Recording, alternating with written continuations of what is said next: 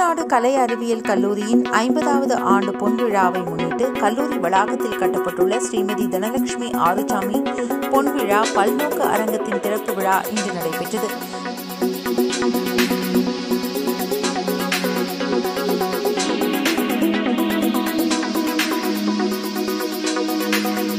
விழாவில் தமிழக ஆளுநர் ஆர் என் ரவி சிறப்பு விருந்தினராக பங்கேற்று அரங்கத்தை திறந்து வைத்து சிறப்புரையாற்றினார்.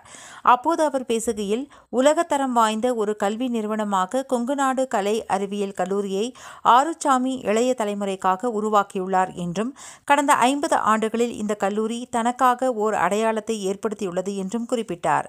உழைப்பும் உள்ளார்ந்த அர்ப்பணிப்புமே இதன் வளர்ச்சிக்கு காரணம் என்றும் கற்பித்தல் திறனிலும் ஆராய்ச்சி நுட்பத்திலும் சிறந்து விளங்கும் இக்கல்லூரி பொன்விழாவுடன் பவள விழா வைர விழா ஆகியவற்றையும் கொண்டாட வேண்டும் என்றும் வாழ்த்தினார். ஒரு காலத்தில் நம் நாட்டை உலக நாடுகள் அவ்வளவாக போற்றவில்லை என்றும் ஆனால் இன்று நிலைமை மாறியுள்ளது. பாரதத்தின் கடவுச்சீட்டை இன்று உலகமே மதிக்கிறது என்றும் குறிப்பிட்டார். மிக விரைவில் பாரதம் உலகின் மூன்றாவது தலைசிறந்த பொருளாதார நாடாக மாறவுள்ளது என்றும் நம் பண்பாட்டையும் பழமையையும் திறமையையும் பல நாடுகள் போற்றுகின்றன என்றும் கூறினார். அத்துடன் மகளிர் மேம்பாட்டிற்காக மத்திய அரசு கொண்டு வந்துள்ள முத்ரா திட்டம் உள்ளிட்ட பல்வேறு திட்டங்களை பட்டியலிட்டார். இத்திட்டங்களால் மகளிர் தொழில் முனைவோர்களாக வளர்ந்து நாட்டின் வளர்ச்சிக்கும் துணை செய்கின்றனர் என்று பாராட்டினார். இளைய தலைமுறையான மாணாக்கர்களின் கனவுகள் பெரிதாக இருக்க வேண்டும் என்றும் அந்த கனவுகளை நனவாக்க ஓயாத உழைப்பும் திட்டமிடுதலும் தேவை என்றும் புதிய பாரதத்தை உருவாக்குவதில் மாணவ மாணவியரின் பங்கு முக்கியமானது என்றும் வலியுறுத்தினார்.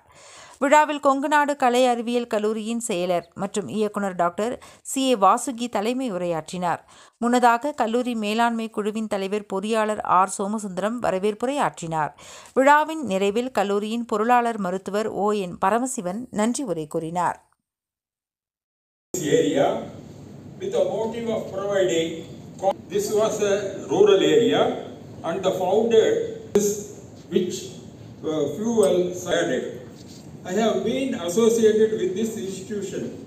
And at this juncture I congratulate and attribute this success